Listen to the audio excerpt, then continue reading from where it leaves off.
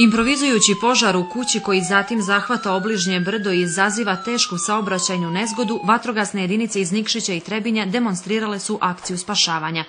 Obezbijeđena su i vatrogasna vozila sa pratećom opremom kao i avioni koji su suzbijali požar na nepristupačnom terenu. Vatrogasna vježba Grahovo 2011 opravdala je očekivanja, istakao je Zoran Begović, pomoćnik ministra za civilnu bezbjednost i vanredne situacije. Ministarstvo unutrašnjih poslova je kroz ovu vježbu sagledalo tri aktivnosti. Dakle, ovaj prvi segment koji se odnosi e, neposredno aktivnosti opštinske službe zaštite i spašavanje Nikšića, moje zadovoljstvo s njihovim današnjim aktivnostima, ja im na tom čestitam. Druga aktivnost to je bila sadejstvo državnog e, odgovora za vanredne situacije, dakle Ministarstvo unutrašnjih poslova i lokalne samuprave i to je urađeno vrlo kvalitetno. I treća aktivnost na koju posebno želim da ukažem, to je e, taj širi regionalni aspekt odgovora na vanredne situacije.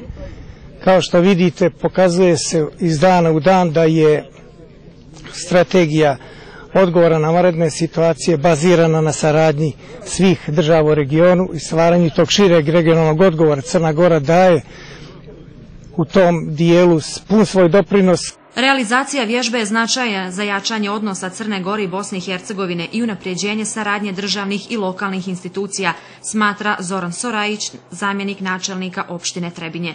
Ova današnja vježba ulijeva ne samo povjerenje, nego i uvjerenje da sa združenim snagama između opština Trebinja i Nikšića, mislim ne postoji problem koji niste u stanju da riješite. U to ime želim da vas pozdravim, da vam poželim ličnu sreću i sreću u vašem profesionalnom poslu. Predsjednik opštine Nikšić Nebojša Radojičić zadovoljan je realizacijom vježbe. Vatrogasne službe iz Nikšića i Trebinja raspolažu savremenom opremom, a spasioci su pokazali profesionalnost i odgovornost, kaže Radojičić. Za mene nije ništa čudno što je ova vježba ovako uspjela, jer ja sam potpuno siguran da ovi naši momci iz naše jedinice za, za vanredne situacije, odnosno službe spasavanja, su obučeni, znaju svoj posao i spremni su na izazove bilo koje vrste.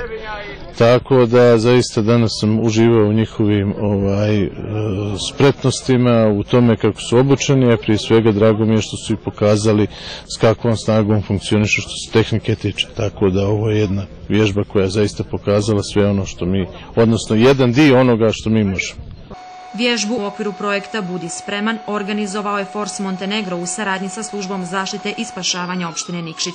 Cilj je usavršavanje profesionalnih i dobrovoljnih vatrogasnih jedinica iz Nikšića i Trebinja, ističe Veselin Šturanović, predsjednik. Očekivani rezultati projekta jesu da je napravljen sporazum za prevenciju, oblažavanje i kontrolu požara prirodnih nepogoda između teritorijalnih vatrogasne brigade Trebinje i službe za zaštitu i spasavanje opštine Nikšić i lokalnog stanovništva, Drugi rezultat je da je uneprađen rad teritorijalnih vatrogasnih brigada i službe za zaštitu kroz organizovanje potrebnih treninga i obuke.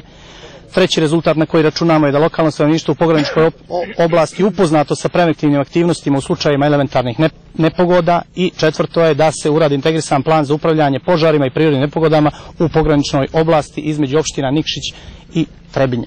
U akciji je učestvovalo 45 vatrogasaca sa šest vatrogasnih vozila i to je prva vježba u okviru projekta Budi spreman koji finansira Evropska unija kroz program prekogranične saradnje Bosna i Hercegovina Crna Gora. Vrijednost projekta je oko 167.000 eura. Krajem ljeta organizatori planiraju još jednu vježbu koja će biti realizovana u Trebinju.